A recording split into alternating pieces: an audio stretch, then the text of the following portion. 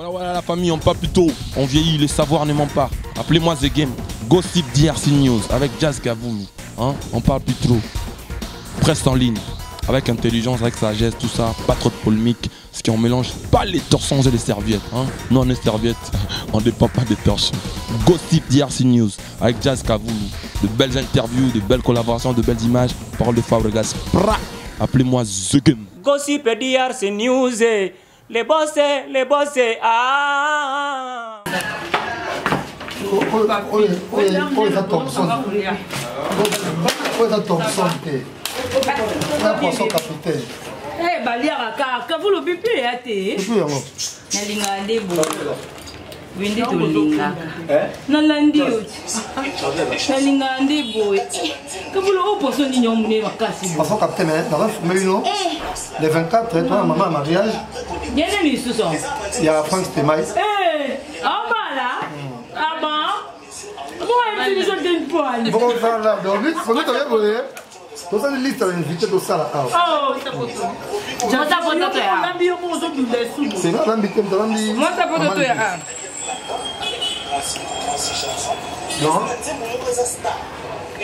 boyebake oyeke yo bozodunda nga azolia bien toyeke nga alinga misu ebele boyebake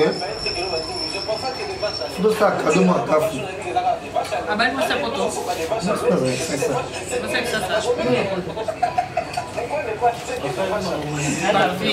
abayo abazanga sikoyo mpona programme sikoyo ata na bare na bare te natuni sikoyo ngombaya batunaka kaka te bebe batunaka kaka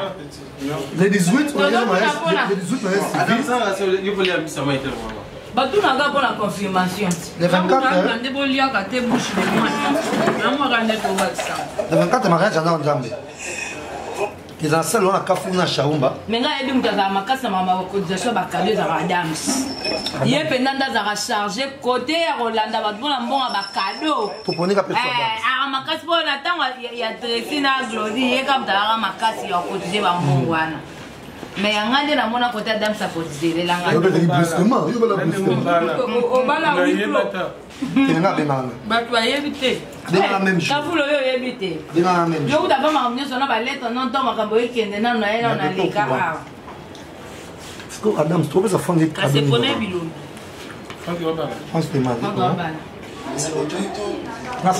mabe neti nga boye nazaka okourant lelo jazz bosangana fudele na vingt personnes po déjà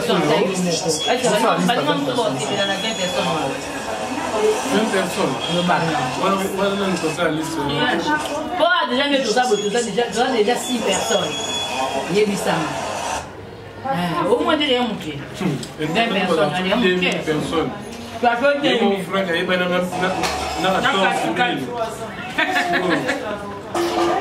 Non mais, mais, mais, mais, mais, mais, mais, mais, mais, anniversaire mobali nanga mpe ya samedi okokolola oh, samedi tosombi poisson wa samedi o ma peut-être samedi omamamo nyonso wana malidi omia te asa mobali nanga jipe elinga mosala olongoli mombaya mombaya baolongolo eva aza parole eva akaba defense temaite omona akoyoka na kade mpe bayoka kaka entre parenthèse eh. parenthèse kaka journaliste bien 15 anani bana okoki oza kitoko boye Eh, franchement. Le net mbiso, après 5 ans sur les 7 ans, on est sous les lots. Il y a qu'un col, voilà.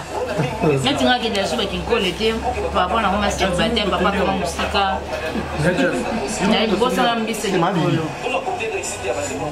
J'allais au canon. Hein. Il dit voisine dans la salle, si vous êtes congolaise. akoti sele on peut akoti ba be plus quand de tondina mon baya 15 personnes ba nani su bébé 15 personnes wana mm ba tikali pona yo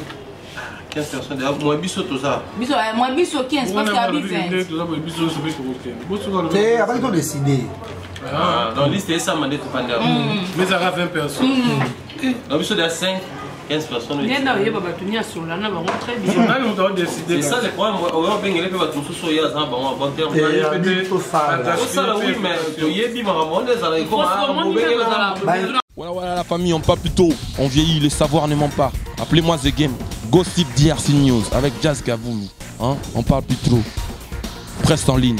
Avec intelligence, avec sagesse, tout ça. Pas trop de polémique. Ce qui en mélange pas les torsons et les serviettes. Hein Nous, on est serviettes.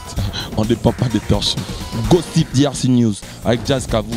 De belles interviews, de belles collaborations, de belles images. Parole de Fabregas. Appelez-moi The Gossip DRC News. Les bossés, les bossés. Ah.